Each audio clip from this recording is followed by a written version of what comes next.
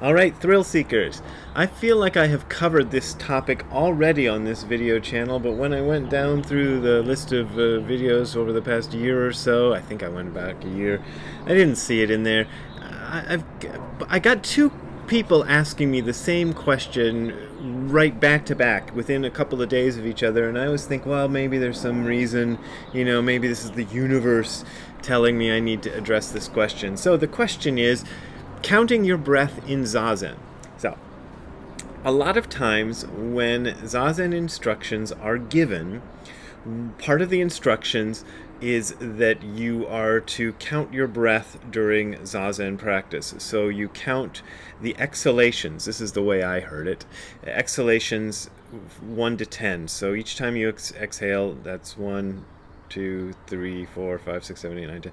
Not that fast, obviously, unless you're you know just got off a marathon just before you started doing zazen and then you start again from from one after you get to 10 i first heard this i think from oh jesus he's eating those nuts off the ground again that's ziggy hole. we got this loquat uh, plant in the in the yard there these are loquats, and they have these seeds in them, like this big. And and Ziggy gets into the loquats. I don't even know if he eats the fruit. He he likes crunching on the seeds, but every time he, he after he crunches on some of these seeds and eats them, he he vomits. You know, sometimes he vomits on the rug. Sometimes he, he just he gets it all over the place.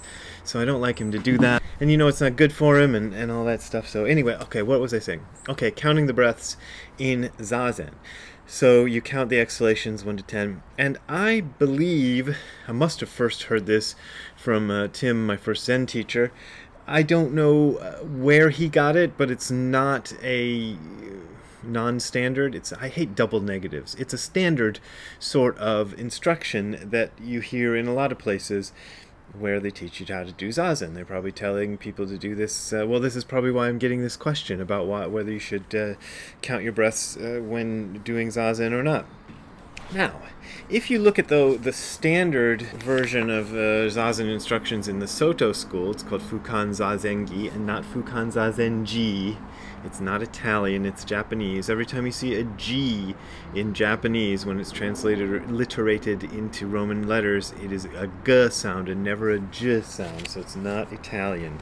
Anyway, uh, in Fukan Zazenji, Fukan Zazengi, there's a central section which describes the practice of Zazen in detail, and I'm just going to read it to you because it's short. In general, a quiet room is good for practicing zazen, and food and drink are taken in moderation. Cast aside all involvements, give the myriad things a rest, do not think of good and bad, do not consider right and wrong, stop the driving movement of mind, will, consciousness, cease intellectual consideration through images, thoughts, and reflections, do not aim to become a Buddha. How could this be connected with sitting or lying down? We usually spread a thick mat on the place where we sit and use a round cushion on top of that. Either sit in the full lotus posture or sit in the half lotus posture. And my teacher also considered what they call Burmese to be the full lotus posture, but that's a whole other video, so let's just keep going. To sit in the full lotus posture, put the right foot on the left thigh, then put the left foot on the right thigh. To sit in the half lotus posture, just press the left foot into the right thigh. Spread the clothing loosely and make it neat, then put the right hand above the left foot and place the left hand on the right palm. The thumbs meet and support each other. Just make the body right and sit up straight. Do not lean to the left, incline to the right, slouch forward, or lean backward. The ears must be aligned with the shoulders and the nose aligned with the navel. Hold the tongue against the palate. Keep the lips and teeth closed and keep the eyes open. Breathe softly through the nose. When the physical posture is already settled, make one complete exhalation and sway left and right. Sitting immovably in the mountain still state, think about this concrete state beyond thinking.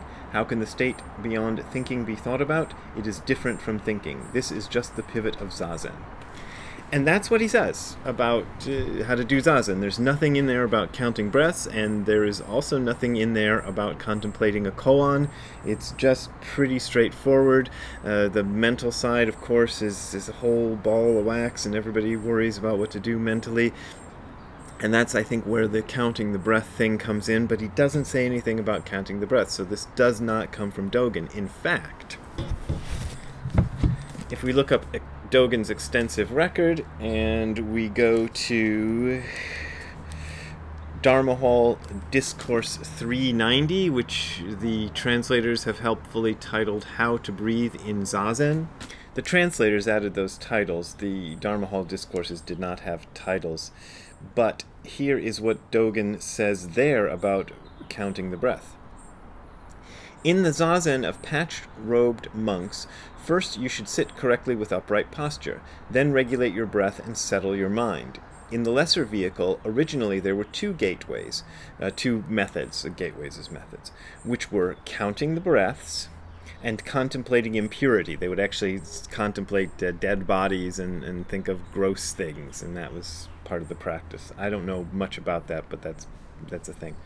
Anyway, in the lesser vehicle, that's Hinayana, and that's a derogatory term, and people don't use it anymore, but Dogen comes from a different time. In the lesser vehicle, people used counting to regulate their breath. However, the Buddha ancestors' engagement of the way always differed from the lesser vehicle. So he's saying it's not that way. A Buddha ancestor said, Even if you arouse the mind of a leprous wild fox, never practice the self regulation of the two vehicles. In the Mahayana, there is also a method for regulating breath, which is knowing that one breath is long, another breath is short. The breath reaches the tanden, basically the diaphragm, and comes up from the tanden. Although exhale and inhale differ, both of them occur depending on the tanden. Impermanence is easy to clarify, and regulating the mind is easy to accomplish. My late teacher, Tiandong Rujing, also known as Tendo Nyojo, said, Breath enters and reaches the tanden, and yet there is no place from which it comes. Therefore it is neither long nor short. Breath emerges from the tanden, and yet there is nowhere that it goes. Therefore it is neither long nor short. My late teacher said it like that. Suppose someone were to ask me, Eihei, Master, how do you regulate your breath? I would simply say to him, Although it is not the great vehicle, it differs from the lesser vehicle. Although it is not the lesser vehicle, it differs from the great vehicle. So I guess he's kind of putting down the Mahayana as well as the Hinayana, but he's saying there's just one Buddhism. It's not greater and lesser vehicle. Suppose that person inquired again, ultimately, what is it? I would tell him, Exhale and inhale are neither long nor short. And he says some other stuff in there, but I'm going to skip it because it's not uh, directly related to what I want to say. But I like the conclusion he gets to. After a pause, Dogen said, When healthy and energetic, we do zazen without falling asleep. When hungry, we eat rice and know we are fully satisfied. So there you go. Nothing about counting breath. In fact, he kind of puts down counting of breath in there uh, pretty strongly. He says basically don't count the breath.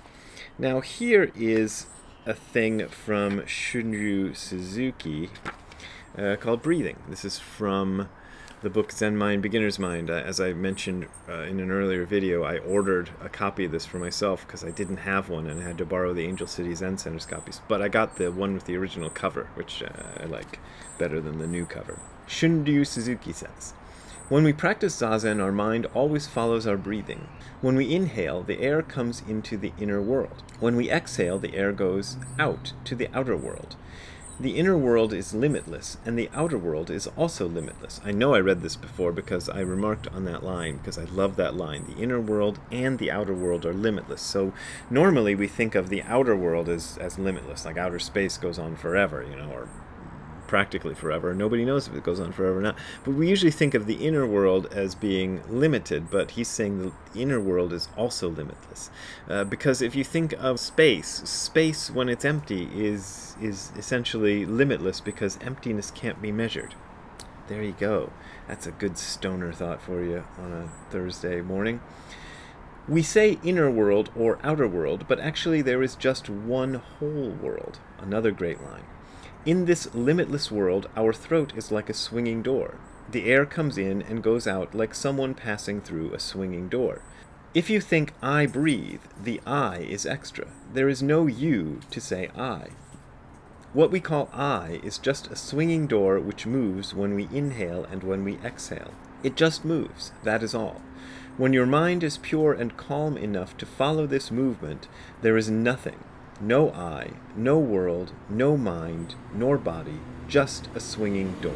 and he goes on from there, but it's and it's really good, and I encourage you to read it. But it's kind of beside my point. So, is counting your breath in zazen good or bad? Well, why are you asking me? I mean, why do you trust my opinion? Well, maybe you trust my opinion because I've done zazen a long time, and I'll just tell you how it's been for me. Because I first learned the counting of breath thing as one of the methods for doing zazen and then years and years and years later, when studying with Nishijima Roshi, he mentioned this uh, Eihei Koroku thing and said counting breath is not what Dogen recommends. And I was like, oh, you know, I'd already been doing Zazen for a long, long time, even doing it with him for a long, long time when he'd never mentioned this stuff, and I was counting my breath. So at that point, I was like, okay, I better stop counting my breath. That's not the way you do it. But because I'd already formed this habit of counting breath during Zazen, I still kept returning to it without even really thinking about it. You know, I didn't decide, oh, I'm going to count my breath now, here goes, and then count my breath. I just would start doing it just spontaneously, like, you know, it just came up. And I still do that. You know, this has been that was 20 or more years ago when I decided to stop, and now I'm I still do it. Counting breath, I find, is somewhat useful. I say this in a kind of grudging sense. If your mind is just going blah blah blah, oh no, this thing that happened today, or the other thing, or the political thing, or the thing I saw in the news, or this and that, you know, whatever it is that's like, you know, getting your mind riled up. Uh, I can go and start counting breath, and uh, by doing so, kind of make that stop, or, or at least kind of quell it down. I don't know if quell is a real word, but it kind of kind of keep it down. But counting breath is not truly goalless practice practice because you're trying to do something. You're you're making your mind do a thing. You know, you're kind of getting in there deliberately upholding the sense that there is an I that, that uh, Shunryu Suzuki says there isn't, who can come in there and say, no, stop doing that thing. But you're really you're you're fighting mind with mind. You're fighting thought with thought, and it's it's ultimately the problem that you came in to the practice and started the practice to solve. You're actually doing that same problem. You're using the mind to control the mind, or you're trying to use the mind to control the mind, using thought to control thought. It won't work. It just won't work. It's it's like uh, what's the Kodo Sawaki? It's like giving the giving the keys to your house to the thief I think is the the uh, metaphor that he uses. So it's kind of like that. You're just you're you're you're using the problem that you're trying to solve to solve the problem you're trying to solve, but uh, meanwhile reinforcing the problem that you're trying to to, to solve. So I think Dogen is right, and it's better not to count the breath. But I have, you know, compassion uh, for people who are just beginning this practice, and I know how hard it is and how it just feels crummy and, and you feel like, oh my God, I'll never stop thinking about my ex girlfriend or whatever the hell it is that you're thinking about. And and you need something or you feel like you need something to kind of make that get a little calmer and counting breath is a fairly neutral thing. Like it's it's not you know, being from the the anti koan comp- contemplation side of the fence. The, the Soto school doesn't get into that.